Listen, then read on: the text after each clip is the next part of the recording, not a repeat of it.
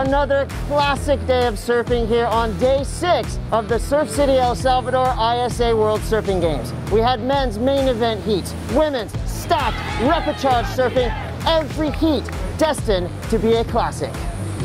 Here's one of the most inspirational surfers like Sally Fitzgibbons.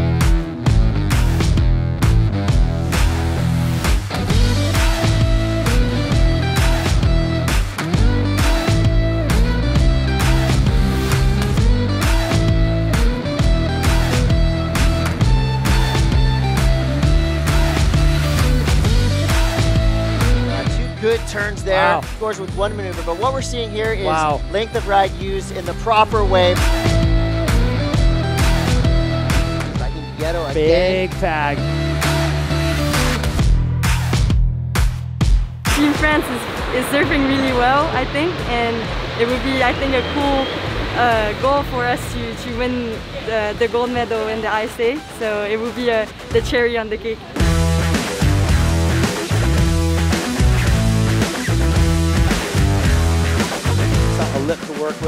How's that frontside layback slash under that one? Many turns he can. Look at that one.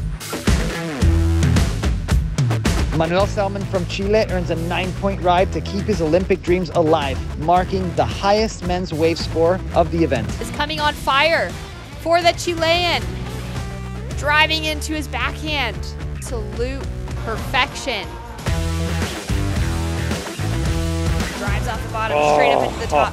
That is a critical maneuver.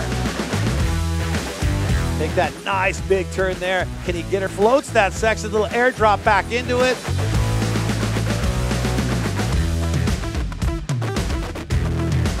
Flat. He's gonna stay right oh. in the pocket. With two days of competition remaining, the team leaderboard is tight with Japan and France leading the way, followed by Team Australia.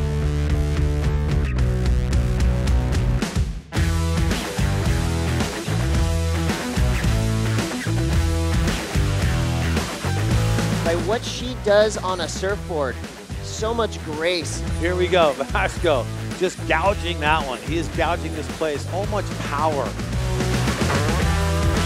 The last Salvadorian surfer, Bryan Pérez, lives to surf another day after advancing through his second repechage heat of the day. We are amazed. We are blessed to have all, all these, these people support me and all the country and all the team. Like we we got together in, in this in this sport, and that's the good thing about this this sport surfing is all, all come together. Like like a lot of people, like different countries coming to here, and we got together here, and enjoy this wave, this moment, and that's for me everything. Tune in tomorrow for more from Surf City as we get closer to crowning our ISA champions, filling those Olympic spots, and showing you our overall team standings.